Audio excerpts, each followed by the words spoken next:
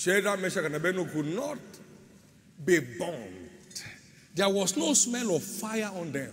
Their heart was entered, their guns and ropes were entered. because they trusted in their God. What consumes others has no power to consume you. Because your father is a consuming fire. Your father is a consuming fire. Therefore, in the name of Jesus Christ, tonight will place a mark of exemption on your life. A thousand may fall at thy side, and ten thousand at thy right hand, but they shall not come nigh thee.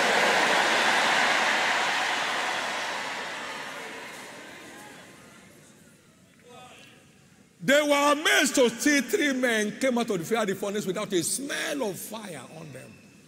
No smell of fire. No smell. Your life will never smell affliction again.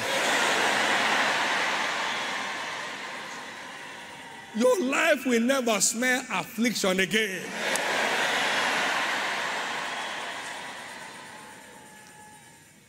That is just trying to look at the no limit power of faith. The no limit power of faith.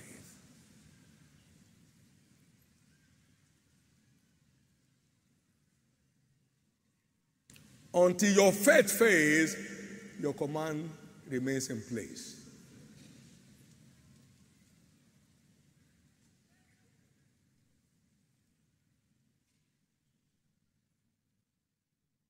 There is no irreversible case with faith.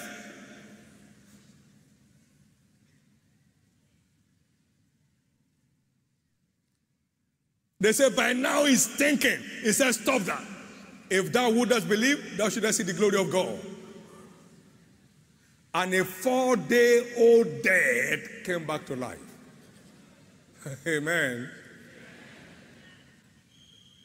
Somebody was crushed in a motor accident on the way to Abuja at Lokojas in the year 2000.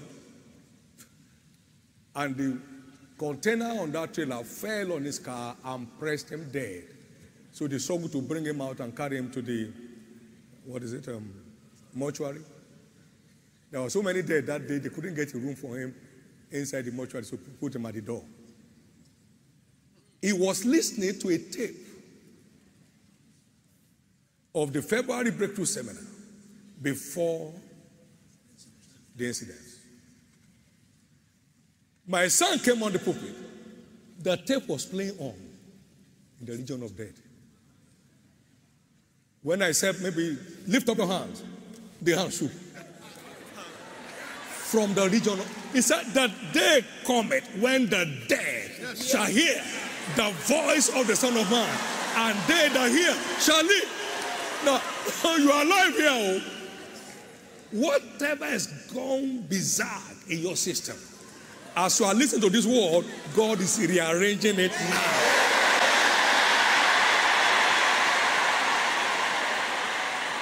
Amen.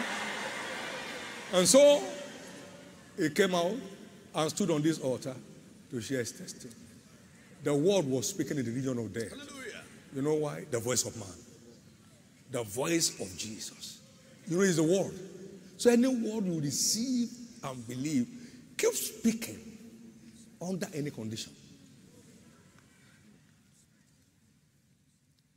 A woman in Abuja, in uh, Abuja church then, had this child that died at the National Hospital.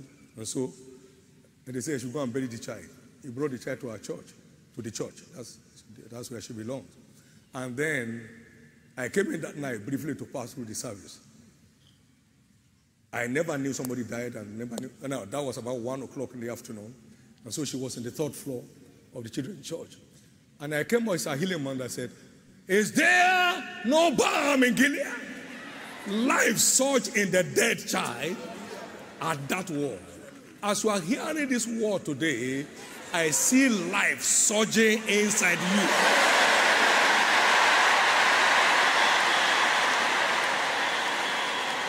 When the child turned six, they brought her to, to me here to see. Life surged for. There is no impossible case with faith. There is no impossible case with faith. There is no impossible. Don't let any devil harass you. There, every death sentence hanging over anyone's life from any expert saying your life is over, you have one month to live, you have 22 days to live. I don't know where they got the calendar from. Now, every death sentence that is passed over anyone's life is reverted tonight.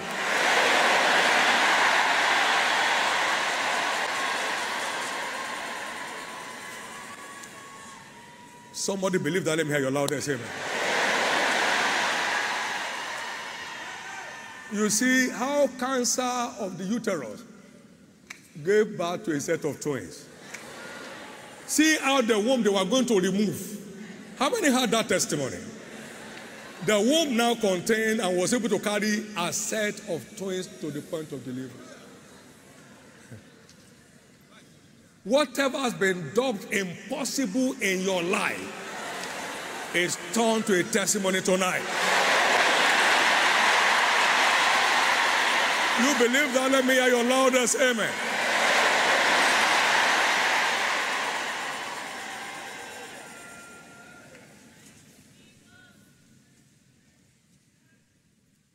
You cannot have faith and fear at the same time.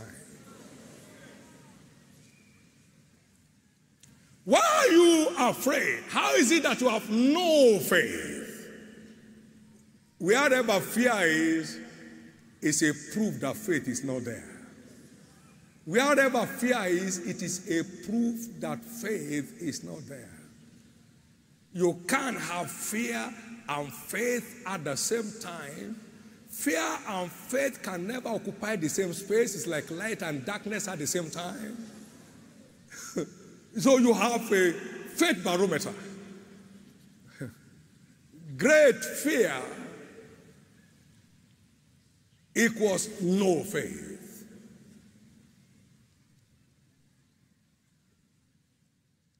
Little faith equals little fear.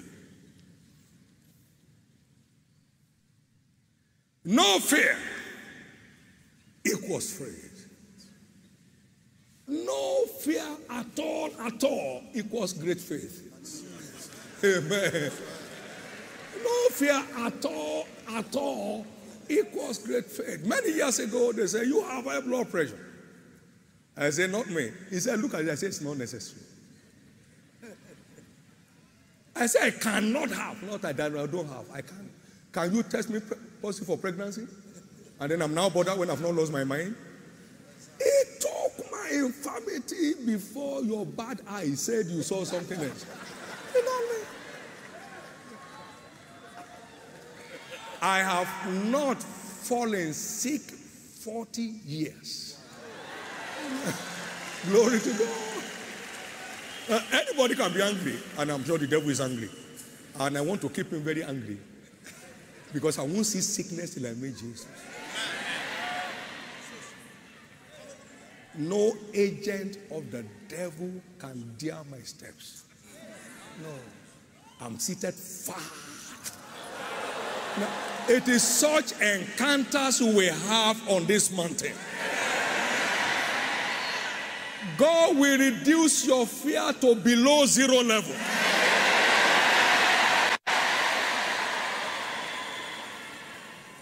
As He begins to unveil to us the mystery of faith that puts you supernaturally in command of the affairs of life. Supernaturally in command of the affairs of life. That's where we're going. Therefore, faith is the master key to a world of unlimited possibilities. Faith is the master key to a world of unlimited possibilities. Faith is the master key to a world of unlimited possibilities. We have never borrowed, we have never begged as a commission for 38 years plus. We have never called special meetings for special collections. We've never reached out to anybody on telephone under heaven. Can you help God? That's just call the man. You just made the man grow big on it. His head will be bigger than his neck. Excuse me, God is in need of something. Can you assist him? If a trailer is falling, can you help him? He says, My friend's trailer. No, you mustn't fall. You will fall with the trailer. If God can't help himself, leave him. Praise God. leave him. Leave him. Yet, project every day. Maybe now every second. Faith is the master key to a world of unlimited possibilities. Take those limits off your life. You are not here to struggle for survival. You are here to make many live. You are here to be a succor of many destinies. You are here to be a helper of many destinies. Take that limit off your life. The works that I do, your Savior said, you will do also. And greater works than this. He came here 2,000 years plus. His impact is in growing dimension up to now. There are many people here after your journey on earth is over. If Jesus studies, your impact will remain in growing dimension.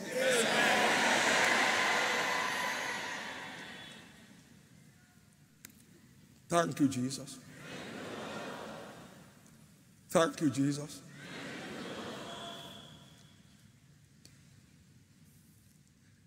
Very serious humor. Somebody said, Do you know that Bishop has oil fields? I said, Is it a basketball field or football field. You don't know covenant. You don't know covenant. The mystery of the covenant empower believers for wealth. Power to get wealth. You don't steal. You don't play games. I don't have a dime of this church money in my pocket. I'll never give you of his money and call it my money. You better wake up. The feed I have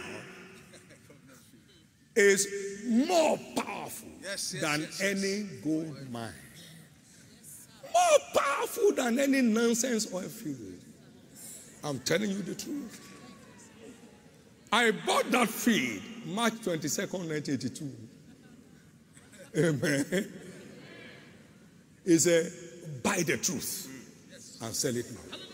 So I bought it. I bought. Sir, you want to see where my uh, feed is? Amen.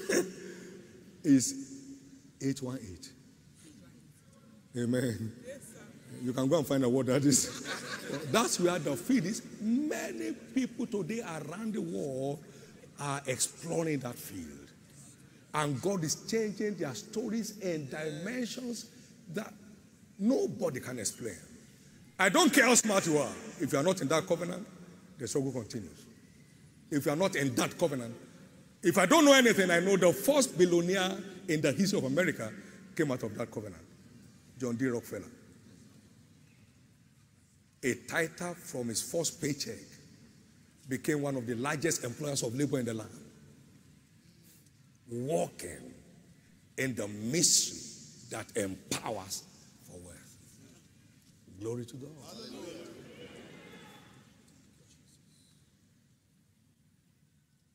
Many will rise here.